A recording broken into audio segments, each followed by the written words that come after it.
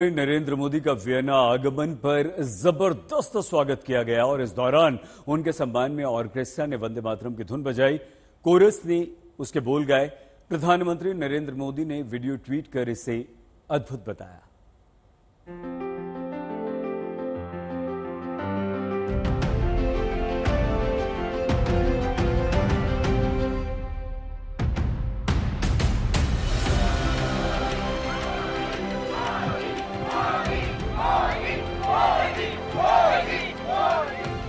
रूस के बाद ऑस्ट्रिया पहुँचे, भारत के प्रधानमंत्री नरेंद्र मोदी का अद्भुत स्वागत हुआ। लेकिन वो लम्हा हर हिंदुस्तानी के लिए बेहद खास था, जब ऑस्ट्रियाई ऑर्केस्ट्रा ने सिम्फनी के साथ प्रधानमंत्री नरेंद्र मोदी के सामने वंदे मातरम की धुन बजाई और विदेशी कोरस ने उसे सधे अंदाज में गाया।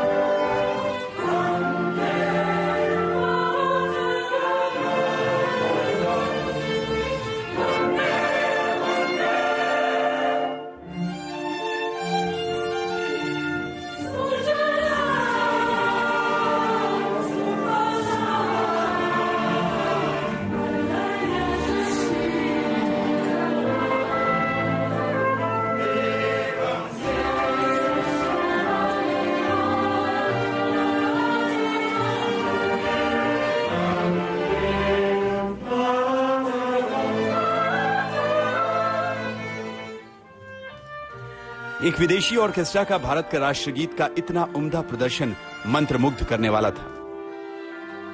पूरे राष्ट्रगीत के दौरान सावधान मुद्रा में खड़े प्रधानमंत्री मोदी भी अभिभूत थे।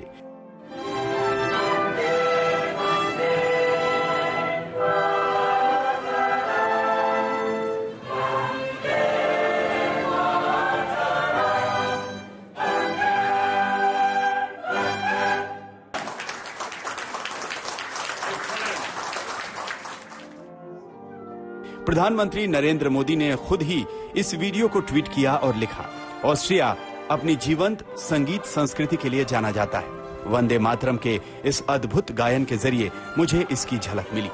वहीं विदेशी ऑर्केस्ट्रा के इस अद्भुत प्रदर्शन के पीछे एक हिंदुस्तानी का सबसे बड़ा योगदान है और वो हिंदुस्तानी इस सिम्फनी के डायरेक्टर हैं, जिन्हें आप अपने ऑर्केस्ट्रा को निर्देश देते देख रहे हैं। इनका नाम है विजय उपाध्याय।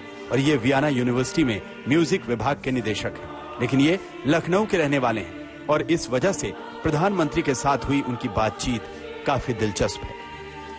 मैंने उन्हें कहा कि मैं लखनऊ का हूँ तो उन्हें कहा, मैं तो उत्तर प्रदेश का हूँ।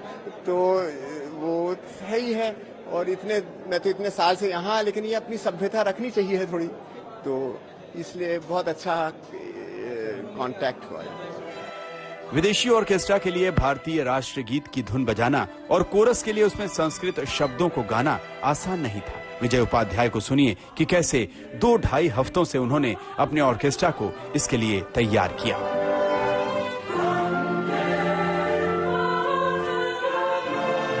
पहली बात तो ये थी कि मुझे ढाई हफ़्ते पहले पता लगा कि करना है। अब ये होता है कि वेस्टर्न म्यूज़िक में ऐसा है कि जो ऑर्केस्ट्रा बजाता है या लोग जो गाते हैं, वो हर चीज़ को लिखना पड़ता है। तो पहले तो दो दिन में लिखना पड़ा जल्दी से, फिर उसको रिहर्सल करना पड़ा था। तो वंदे मातरम हुआ, फिर उसका डिसीज़न कि हम वंदे मातरम करेंगे। और फिर अब वंदे मातरम हमने उसका प्रयत्न किया कि वंदे मातरम जैसे है वैसे रखे, लेकिन उसको थोड़ा हम symphonic style Austrian European symphonic style दें। इस ऑर्केस्ट्रा में करीब 50 कलाकार शामिल हैं गाने वाला पूरा कोरस ऑस्ट्रियाई था उनके लिए प्रधानमंत्री नरेंद्र मोदी के सामने इसे परफॉर्म करना और उनसे बातचीत करना एक अनोखा अनुभव था he was really friendly. He uh, came to us like a friend. Actually, he uh, entered the group. We did a photo with him.